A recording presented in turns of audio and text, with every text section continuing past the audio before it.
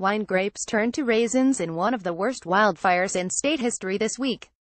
Ezra Shaw Getty Northern California wine country is threatened as a series of massive wildfires continue to rage in the counties of Napa, Sonoma, and elsewhere. Nearly two dozen fires ignited earlier this week and grew as strong, dry winds spread the flames over fields and freeways. The eight-county blaze destroyed more than 3,500 homes, businesses, and other structures, and sent residents fleeing for their lives. At least 23 people are dead.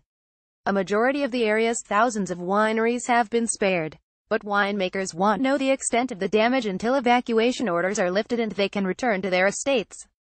Here's what we know about the state of damaged wineries. View is one-page slides.